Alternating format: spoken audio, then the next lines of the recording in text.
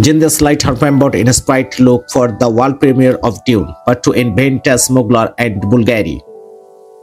Zendaya is that call. After all, she could not help but radiate under the flashing lights in her metallic assemble at the world premiere of Dune, Part 2 in London, February 15. Zendaya stepped onto the sandy red carpet in a flamboyant-inspired vintage Mugler bodysuit.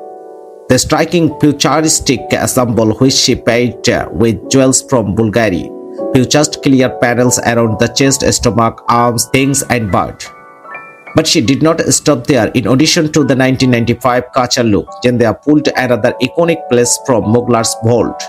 Styled by Law Roach, she later worked the carpet in a more subtle but uh, sultry black uh, velvet floor-length gown. She pulled the look together with glowy makeup and vintage jewelry from Bulgari.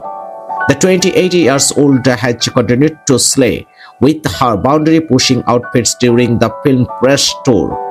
And this includes talking fashion skills from the SCIFI films themselves. Like when she channeled her Dune character Chani, dressing in a warrior-inspired look at a Mexico City photo call February 5